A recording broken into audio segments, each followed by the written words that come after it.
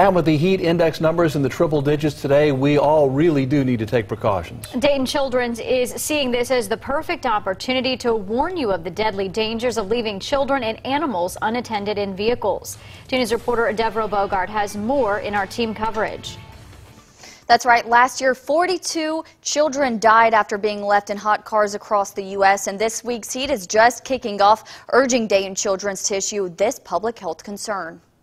Jessica Saunders says every parent thinks it will not happen to them, but we live in the age of distraction and tragedy can strike any family. Five minutes can turn into 10 minutes, and we can see that a car can go um, it can increase by 19 degrees within about 10 minutes on a hot day like today.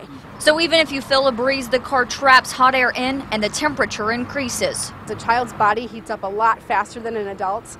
So we might get in the car and think it's okay, but um, for that child, it, it can be life and death.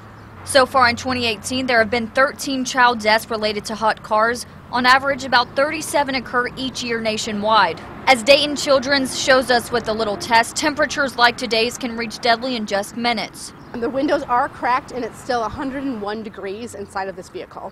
Which means even rolling down a window is not a solution. Saunders says one tip to ensuring the child's safety is setting up a reminder. If you are not the typical caregiver that takes care of a child, make sure that other caregiver calls you and reminds you to drop the child off. And if you see a child or animal in a hot car, immediately call 911. There were a couple near misses here in the Dayton region last year where 911 was called, and that's a good thing.